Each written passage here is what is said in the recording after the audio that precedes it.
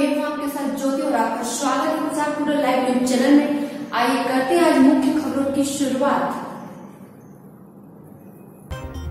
काल भैरव अष्टमी धूमधाम से मनाई। हंडिया में शुक्रवार को मंगलधाम आश्रम हंडिया पर काल भैरव अष्टमी का पर्व धूमधाम से मनाया गया। शास्त्रों के अनुसार काल भैरव भगवान शिव के अवतार के रूप में जाने जाते हैं। धर्म ग्रंथों के अनुसार मार्गशीर्ष मास की कृष्ण पक्ष की अष्टमी तिथि को काल भैरव अष्टमी के रूप में मनाया जाता है। भगवान काल भैरव को तंत्र का देवता माना गया है। तंत्र के अनुसार काल भैरव की पूजा के बिना किसी भी प्रकार की सिद्धि संभव नहीं है। ऐसे में सभी कार्यों में काल भैरव का पूजन प्रथम माना जाता है और अनिवार्य बताया गया है कि इसी के चलते श्री मंगलधाम आश्रम, हंडिया पर गुरुवार की रात्रि को भजन संध्या का आयोजन किया गया।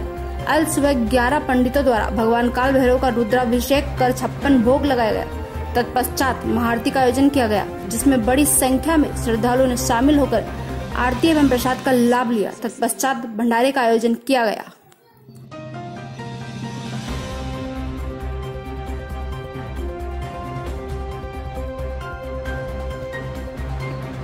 बताइए।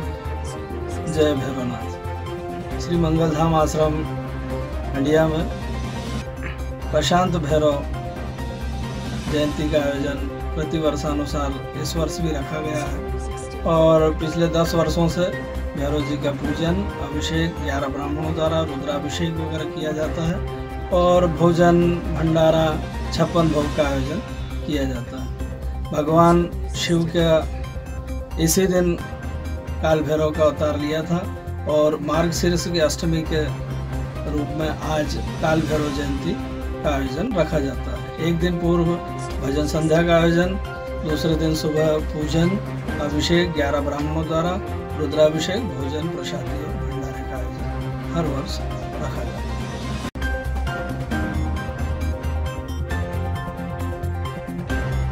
फ़िलहाल इतना ही। आगे की खबर जारी रहेगी।